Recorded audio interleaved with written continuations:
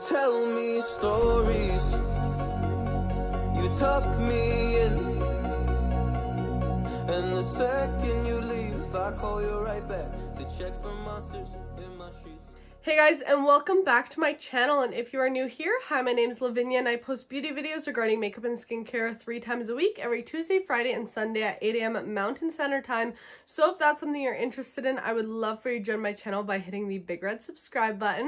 So as you can tell, I just finished swatching all of the brand new Milani Color Fetish Shine lipsticks and now we have reached the review part of this video. So I did purchase all 12 shades myself because if you guys don't already know, I am a Milani stan. I literally buy anything they release to test it out. It's one of my favorite, favorite brands. And if they'd ever reach out and if they'd ever sponsor me, I would literally die. But these ones I did a purchase myself. They release 12 super fun shades in this line. And they also released their Color Fetish nude lipstick line too, which I do have behind me there, which I'll be releasing a lip swatch video on those colors as well very, very soon. But today is just focused on the Shine lipsticks. So overall, this is a very different line for Milani. If we take a look at their past lipsticks, which I've tried all of them. Um, you know, they've done some amazing liquid lipstick formulas and they even released like a satin liquid lipstick, but still on that matte side. Um, and then even with their regular, you know, color statement lipsticks, which I do have behind me there, the gold ones, those ones do have a bit more shine to them, but they're still, you know, that rich, typical form of tube lipstick. We also have their color statement matte as well as their bold matte lipsticks. So they've done a lot of stuff and usually they're known for their pigment, formulation, smoothness of their lipsticks, all of that. Apart from that, they do have lip glosses, you know, which of course will be on the more sheer side like a lip gloss should be, but still very rich formula. These are definitely very different. It's like if a lipstick and a lip balm had a baby, this is what would be born.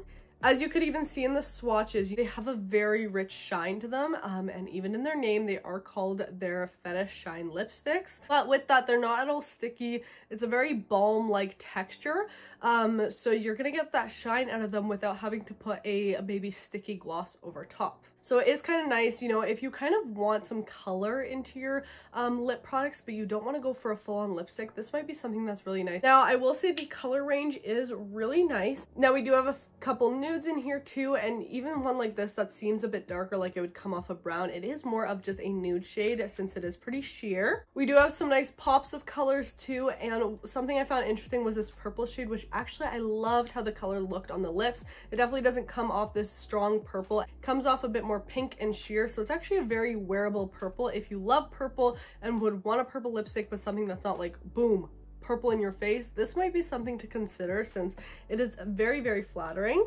And then we have some of those perfect fall tones too, those berries, uh, mauves, all of that. So overall, I was really impressed by the shade range. Now let's start talking actual formula. What I did find is these are not all completely consistent, at least in my eyes. So I do want to give some examples. Um, so first I'll start off with the first shade in the collection, Lustful. So if I swatch this one right here, as you can see, we do have that balm-like texture, still some pigment, and the color is pretty true to what the actual lipstick itself looks like. If we move on to 140 Crave, this is a bright, bright coral lipstick. And when swatching this, as you can see, that color is a bit more pigment rather than balm. So that's kind of the difference there, but I guess there is a definite shade difference too. Same story with 160 Voyeur. This is our hot pink shade. And as you can see, pretty vibrant, pretty pigmented. But then like with that shade I was talking about before, Kink in the purple. So this one again looks very vibrant and purple in the actual tube itself. But when we go to swatch, it is a very muted purple as you can see here. It's very dyed down. It's not as vibrant as it looks in the tube. It actually gives you a lot more of a wearable look. Last example i'll give is the last shade 220 tied up similar story. So looks very deep like a deep brown in the tube and then when we go to swatch it, it is more of a nude. So I just wanted to point that out since that's something I found that was kind of interesting. Um, so it kind of does depend on the shade, but that's why I do these lip swatch videos so you guys can kind of see what different shades look like actually on the lips as well as swatched on the hands. So based on that, you can kind of decide if you want something more on the sheer side or if you want something a bit more vibrant. It does have a pretty sweet, like florally scent. Not an extreme scent on these. It's, it's definitely not something that lingers. So I have it on my lips right now and it's not like I can smell it throughout the day.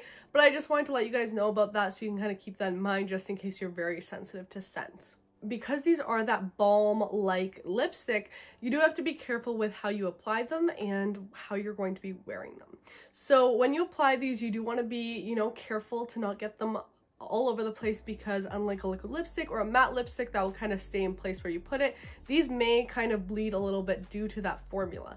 Um, if you've ever even applied like a gloss over lipstick, sometimes that tends to do that. So what I would recommend is using a lip liner under these 100%. I obviously didn't in the swatches because I want to show you guys the true colors without anything influencing it.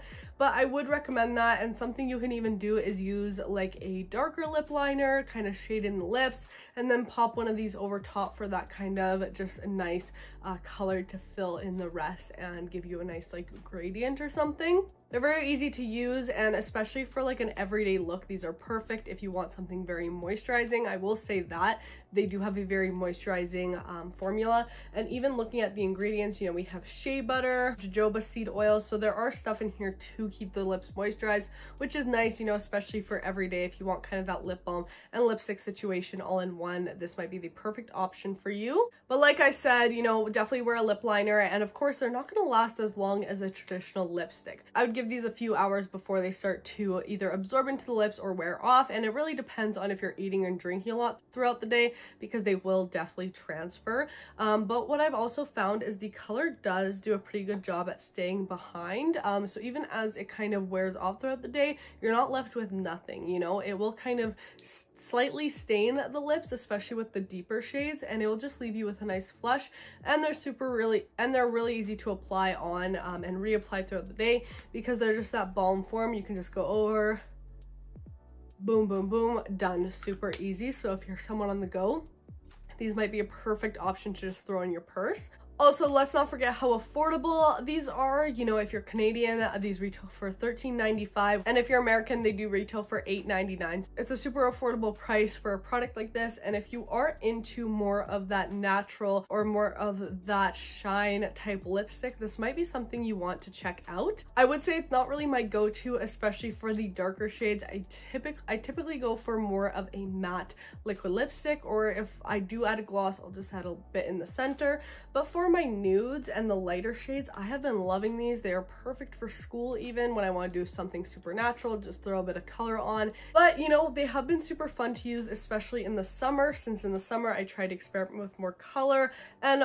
also give my skin that kind of glowy look and even incorporate that into my lip look by adding a gloss. So having a product like this, that two-in-one has been super easy. Nothing sticks to it. It feels very light and smooth on the lips. It never feels like heavy makeup, which is something that a lot of you may enjoy. At the same time, if you're someone who likes that precise lip look that will stay on all day, that you don't really have to reapply, this may not be for you. But if you are that type of person, you may like this for touch-ups. So let's say you use a liquid lipstick in the morning, right? And it kind of cracks up or dries out your lips throughout the day. You can pop some of this on um, as your day goes by, just a little bit, enough that you know, it will give you a bit of that hydration and blend with your liquid lipstick, but not too much that it will bleed and be your full lip look. So um, that's another way you can use these. Overall, you know, I think it's a cool concept. I also want to say I really enjoy the packaging of these. They're just super fun, um, very glam, but still kind of edgy too. So that's super cool. I really enjoyed that. I like that the color is right on the tube. It makes it super easy to see, especially with all the lipsticks I own. But that's really my thoughts on these lipsticks, guys, um, and my overall review. Let me know what shade you enjoyed the most out of the lip swatches today and let me know also if you've tried these lipsticks, what you think about them, if you're thinking about trying them, all of that. And if you did enjoy this video and want to see more of my lip swatch videos, I will link my whole playlist down below. I will say right now there's a lot of Milani and a lot of Wet n Wild in that playlist, but I do have other lipstick lines as well throughout. If you haven't already, make sure to give this video a thumbs up. Don't forget to subscribe and also make sure to turn on my post notifications so you get notified every single time I upload a new video. If you want to see more of my content, you can check me out on the Acne channel here on YouTube as well as TikTok and Instagram at Lavinia Rusanda for more daily content. I love you guys all so much. I hope you're having a fantastic day and I'll see you in the next one. Bye guys! Oh, you tell me stories. You tuck me